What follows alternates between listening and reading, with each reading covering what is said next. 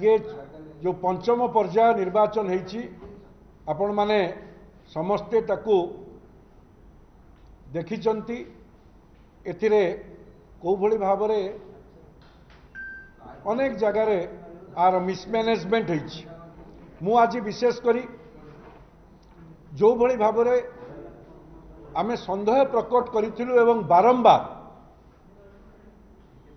ବାରମ୍ବାର ଆମେ ନିର୍ବାଚନ କମିଶନକୁ ଯେଉଁଭଳି ଭାବରେ ପରିଚାଳନାଗତ ତ୍ରୁଟିକୁ ଆମେ ପରିଲିଖିତ କରି ବାରମ୍ବାର ଜଣାଇଥିଲୁ ସ୍ୱତଃପ୍ରବୃତ୍ତ ଭାବରେ ଉଦ୍ଦେଶ୍ୟ ଥିଲା ଯେ ଫ୍ରି ଆଣ୍ଡ ଫେୟାର ଇଲେକ୍ସନ ହେଉ। ଯେଉଁଭଳି ଭାବରେ ନିର୍ବାଚନ ପରିଚାଳନା କରିବା କଥା ତାହା ଆମର ଯାହା ସନ୍ଦେହ ଥିଲା ଆଜି ସମ୍ପୂର୍ଣ୍ଣ ରୂପେ ସେ ସନ୍ଦେହ ଦୃଢ଼ୀଭୂତ ହେଇଛି। ତାର କାରଣ ମୁଁ ଆପଣମାନଙ୍କ ପାଖରେ ଏବେ ଉପସ୍ଥାପନ କରୁଛି। ନିର୍ବାଚନ ପ୍ରକ୍ରିୟା ଆରମ୍ଭର ପୂର୍ବରୁ ସର୍ବଦଳୀୟ ବୈଠକ ହେଇଥିଲା ଏବଂ ସର୍ବଦଳୀୟ ବୈଠକ ପରେ ପଞ୍ଚାୟତର ଏକ ମାନୁଆଲ ସିଏ ସବୁ ପାର୍ଟିକୁ ମଧ୍ୟ ଯୋଗାଇ ଦିଆଯାଇଥିଲା। ସେ ମାନୁଆଲରେ ସବୁ ପ୍ରକାର ପ୍ରୋସିଜିଓର ଲିପିବଦ୍ଧ ଥିଲା। ଯାହା ଆପଣମାନେ ସମସ୍ତେ ଦେଖିଛନ୍ତି।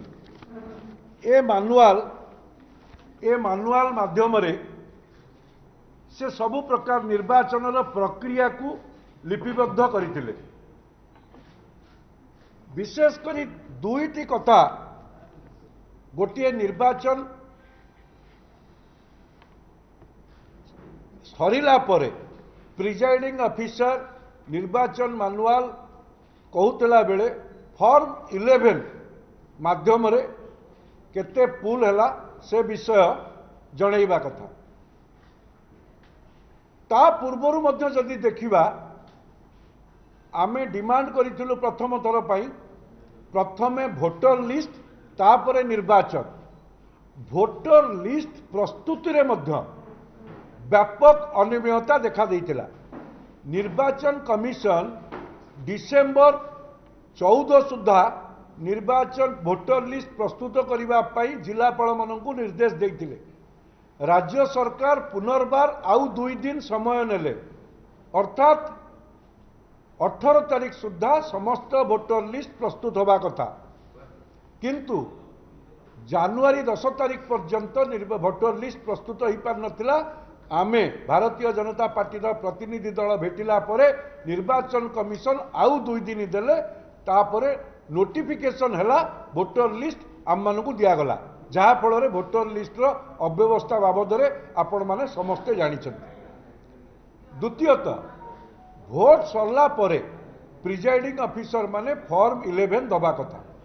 ତାକୁ ମଧ୍ୟ ଅନେକ ଜାଗାରେ ନିର୍ବାଚନ କମିଶନର ମାନୁଆଲରେ ଥିବା ସତ୍ତ୍ୱେ ଯେଉଁ ନିର୍ଦ୍ଦେଶନାମା ଯାଇଥିଲା ଜିଲ୍ଲାପାଳମାନଙ୍କୁ ସେ ନିର୍ଦ୍ଦେଶନାମାର କାର୍ଯ୍ୟାନ୍ୱୟନ ଦେଖାଗଲା ନାହିଁ। ଯାହାଫଳରେ ତାକୁ ପ୍ରତିବାଦ କରାଗଲା। କେତେକାଂଶରେ ମିଳିଲା କେତେକାଂଶରେ ମଧ୍ୟ ବିଫଳ ହେଲେ ଭାରତୀୟ ଜନତା ପାର୍ଟିର କାର୍ଯ୍ୟକର୍ତ୍ତା। ତୃତୀୟତଃ ବର୍ତ୍ତମାନ ମାନୁଆଲରେ ଯେଉଁ କାଉଣ୍ଟିଂର ପ୍ରୋସିଜିଓର ଲିପିବଦ୍ଧ ହେଇକି ଆମକୁ ଦେଇଛନ୍ତି ସେଥିରେ ସେ ସିଧାସଳଖ ଭାବରେ କହିଛନ୍ତି ଯେ ପ୍ରିଜାଇଡିଂ ଅଫିସରମାନଙ୍କୁ ସମ୍ପୂର୍ଣ୍ଣ କ୍ଷମତା ଦିଆଯାଇଛି ସେଇମାନଙ୍କର ଯାହା ନିର୍ଦ୍ଦେଶ ରହିବ ସେଇଟା ହିଁ ଫାଇନାଲ ସେଥିରେ ଯେଉଁଟା ଅଛି ମୁଁ ଆପଣଙ୍କୁ ପଢ଼ିକି ଟିକେ ଶୁଣେଇ ଦେଉଛି the total number of votes including invalid votes should tally with the total number of votes pooled in the concerned ward for ward member as reported by the presiding officer ଆର ଅର୍ଥ ପ୍ରିଜାଇଡିଂ ଅଫିସର ଯାହା ନିର୍ଦ୍ଦେଶ ଦେବେ ଯାହା paper ଦେବେ ଯେଉଁ ଆପଣଙ୍କର form ଇଲେଭେନର paper ସେଇଟା ଫାଇନାଲ ଆ ସତ୍ତ୍ୱେ ଗତ ଆଠ ତାରିଖ ଦିନ ଗତ ଆଠ ତାରିଖ ଦିନ ଏକ ଷ୍ଟେଟ୍ ଇଲେକ୍ସନ କମିଶନ ଇଏ ଗୋଟେ ଚିଠି ଘୁରି ବୁଲୁଛି। ଜିଲ୍ଲାପାଳମାନଙ୍କ ପାଖରେ ବିଡ଼ିଓମାନଙ୍କ ପାଖରେ ଏ ନିର୍ଦ୍ଦେଶନାମା ଯାଇଛି। ଏ ନିର୍ଦ୍ଦେଶନାମା ଯିବା ଫଳରେ ବର୍ତ୍ତମାନ ଯେଉଁଭଳି ଏକ ଭୋଟ ବାକ୍ସରୁ ଯାହା ବାହାରିବ ସିଏ ହିଁ ହେବ ଫାଇନାଲ ସେ ହିଁ କାଉଣ୍ଟିଂ ହେବ। ଯାହା ଭୋଟ ବାକ୍ସରୁ ବାହାରିବ। ପ୍ରିଜାଇଡିଂ ଅଫିସର ଫର୍ମ ଇଲେଭେନ୍ ଯୋଉଟା ଅଥେଣ୍ଟିସିଟି ମାନୁଆଲ କହୁଛି ସେ କଥା ନ ହୋଇ ଭୋଟ ବାକ୍ସରୁ ଯାହା ବାହାରିବ। ମାନୁଆଲ କିନ୍ତୁ ଗୋଟେ ପ୍ରକାର କହୁଛି ଇଏ କହୁଛି ଏ ଚିଠି। ଏ ଚିଠିର ସନ୍ଦେହ ଆହୁରି ବଢୁଛି ଏ ଚିଠି ବର୍ତ୍ତମାନ ଆପଣଙ୍କର ଯୋଉ ୱେବସାଇଟ ଷ୍ଟେଟ୍ ଇଲେକ୍ସନ କମିଶନର ଅଛି ସେ ୱେବସାଇଟରେ ଏକଥା ନାହିଁ। ଏକଥା ମଧ୍ୟ ଆମର ସର୍ବଦଳୀୟ ବୈଠକ ଯୋଉ ହେଇଥିଲା ଏ କଥା ସେଥିରେ ଆସିନଥିଲା ମାନୁଆଲରେ ନାହିଁ ସର୍ବଦଳୀୟ ବୈଠକରେ ଏକଥା କୁହାଯାଇ ନାହିଁ।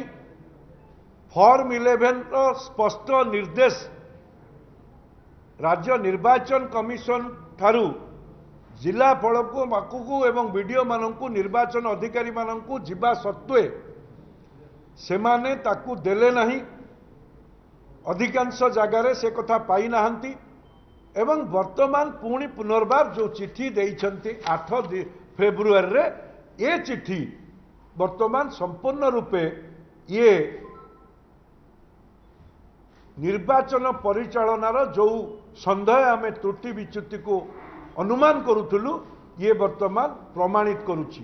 ଅର୍ଥାତ୍ ଇଏ ମେଜିସିଆନ ଭଳି କାମ କରିଛନ୍ତି ପ୍ରାର୍ଥୀମାନଙ୍କର ଚକ୍ଷୁ ବନ୍ଧନ ପ୍ରାର୍ଥୀମାନଙ୍କର ଚକ୍ଷୁ ବନ୍ଧନ କରି ସେଥିରୁ ଭୋଟ ବାକ୍ସରୁ ଯାହା ବାହାରିଲା ଇଏ କରିବାର ଯେଉଁ ପ୍ରୟାସ କରିଛନ୍ତି ତାଙ୍କୁ ଆମେ ସ୍ପଷ୍ଟୀକରଣ ମାଗୁଛୁ ଏବଂ ମୁଁ ବର୍ତ୍ତମାନ ନିର୍ବାଚନ କମିଶନ ଯିବା ପାଇଁ